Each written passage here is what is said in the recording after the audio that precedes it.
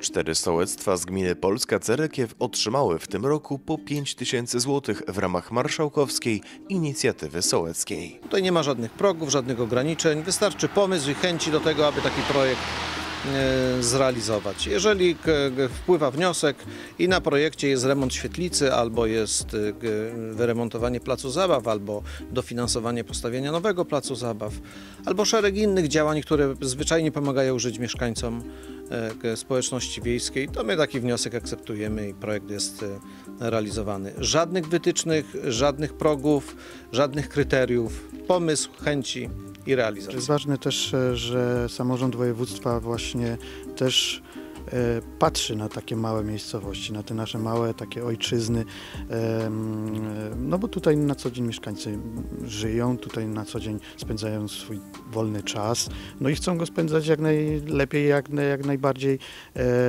wygodnie, można też powiedzieć. Sołectwa same decydują, na jakie zadania przeznaczą otrzymane pieniądze. Zazwyczaj realizują to, co jest im najbardziej potrzebne. Pieniądze dla nas, akurat dla tej małej wsi, były bardzo dużym, y, dużym zastrzykiem. No, skorzystaliśmy z urządzenia Orbitek, plus y, z jednej strony Orbitek na jednym panelu, z drugiej strony urządzenie do ćwiczeń. Brakowało nam sprzętu dla, do ćwiczeń dla dorosłych i z tego żeśmy zakupili e, dwie, dwa urządzenia dla dorosłych. Całą pulę e, środków e, marszałka wykorzysta, wykorzystaliśmy na postawienie altany no, dla wszystkich mieszkańców, szczególnie dla matek z dziećmi, które na plac zabaw przychodzą. Mieliśmy w świetlicy takie stare drzwi jeszcze, jak to powiedzieli, chińskie badziewie, a teraz mamy naprawdę piękne drzwi. Dzięki dotacji z Urzędu Marszałkowskiego oraz wsparciu gminy Polska Cerekiew udało się zrealizować wiele ciekawych inicjatyw.